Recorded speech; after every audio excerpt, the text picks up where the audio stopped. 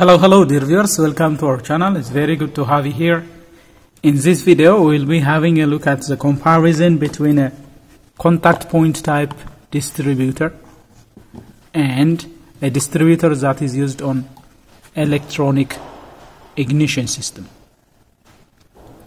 This one is a, a inductive pickup type electronic ignition distributor but whereas when it comes to here we have a contact point type distributor. That's using a breaker point assembly. Now what we are going to do is we are going to compare the advantages and the disadvantages. Well let's begin be from the contact point type distributor. So the contact point type distributor it uses a contact point right here you can see a contact point. It uses this contact point to open and close the primary current of the ignition system. Look there is a cam plate here on the distributor shaft and there is a rubbing block with a movable contact and there is a fixed contact. Now when the two contacts are in contact like so current will flow through the primary winding but when the contact point opens just like this, current flow is interrupted. This is where high voltage is generated inside the ignition coil and we distribute that ignition spark to the different cylinders so that the air fuel mixture will be ignited. Now, what disadvantage do we have with this type of distributors? As you can see, there are mechanically moving parts. So, this contact point is a mechanical switch.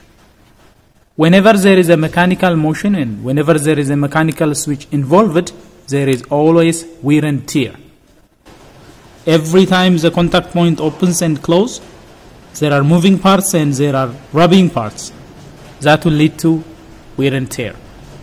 So let's see some of the disadvantages happening as a result.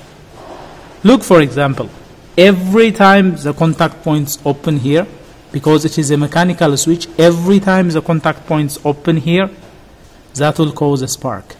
When primary current is interrupted the voltage that is generated inside the ignition coil by self-induction will cause the contact points to spark. This we call it arcing. That will lead to burning of these contact points.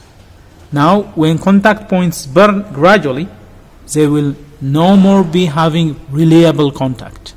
So that is one disadvantage Every time they arc, material is removed from the contact point face and that will lead to irregular surface and that will lead to non-reliable contact. That is one disadvantage. So as it wears down, as too much spark is generated here, it will wear down and then the timing and the dwell angle of this contact point assembly will gradually change. Now in order to minimize that effect, we will connect a capacitor of this kind in parallel to the contact point. But even though there are capacitors connected, arcing will always be there. The, ma the magnitude of the arcing will be reduced, but still arcing continues.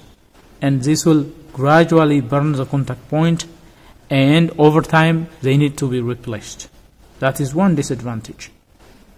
The other disadvantage, because it is a mechanical switch, as I have previously mentioned, you see there is a rubbing block there on the movable arm of the contact point. There is a rubbing block, usually made of plastic, uh, some hardened plastic material, and that will rub on the cam plate.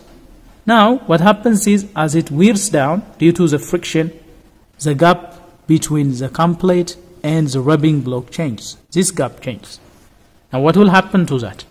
When that changes, it will change the ignition timing. The ignition timing is basically determined by the time at which this contact point just opens.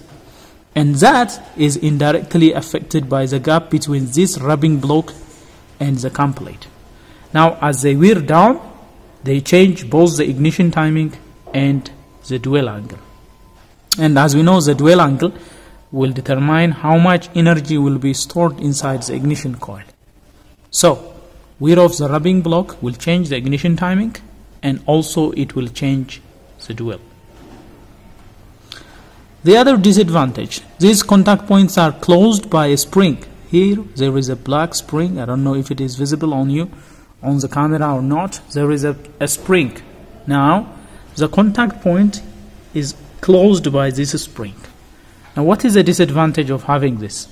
RPM limit will be there. Because at extremely high RPM, above some RPM, spring couldn't close fast enough. When the engine is accelerated and when the distributor is running at extremely high speed, the spring could not close the contact points fast enough. So it will start vibrating, the spring will start oscillating and that will cause loose contact between these contact points. So this will lead to misfire. So that is the other disadvantage. At extremely high speed, closing the contact point with that spring will become very challenging and that will lead to contact point irregular vibration and that will somehow lead to misfire. That is the other disadvantage. And again we have another disadvantage. If the ignition switch is left open with the contact point closed like this, let's say for example you are working on another electrical system and you turn the ignition switch on and left it open with the contact point closed, what will happen to the ignition coil? The ignition coil will start to overheat because if the contact points are closed like this, current will continuously flow through the primary winding. So that will lead to coil failure because of overheating. So these are some of the disadvantages associated with contact point distributor. So gradually the timing will change. Now you need to adjust the ignition timing by loosening these mounting bolts and moving the contact breaker assembly closer or further away from this cam plate. So they require maintenance. Now when it comes to the electronic type, let's have a look at this electronic type. This is a one that is being used on most of the modern vehicles. There are different types of electronic ignition mechanisms, but now we are looking at the inductive pickup type here. Well, look what is happening. When the distributor is running, there is no contact at all. No rubbing parts, no mechanical touching parts, no friction is there. Everything is taking place electronically. So what is happening is here we have a coil and uh, a magnet. Now, as this rotates, it will induce voltage on the coil. That induced voltage will be used to turn on and off the primary circuit, which is electronically done by using transistors. So this is a better advantage than the contact point type. Because there is no mechanical switching, all the switching is done electronically. So electronic ignitions do not use contact point. They have transistors that serve as electronic switches that turn the coil's primary current on and off. Now, you can use this for long period compared to the contact point. You can use it for way too much period. And because of the fact that there are no arcing produced, primary current turning on and off will be very smooth but when it comes to the contact point type, due to that arcing at the contact point as they open and close, due to that arcing, primary circuit on and off will not be as smooth as the electronic type. So, when we compare both, by far, the electronic ignition distributors that are using non-mechanical switches are way better we have high voltage that can be generated at the secondary because there is a smooth current on and off inside the primary. And due to the fact that there are no mechanical parts this is relatively maintenance free compared to the contact point type distributors. That is why almost all modern vehicles are now converting their ignition to electronic ignition type there are different types of electronic ignition types. There are distributorless types. There are those using distributors. This is the one that is using distributor and having inductive pickup coil. So this is by far the most rigid and the most maintenance free distributor compared to the contact point type distributor. So this is some of the comparison. I hope you have enjoyed this video. If you like this video, please smash the like button.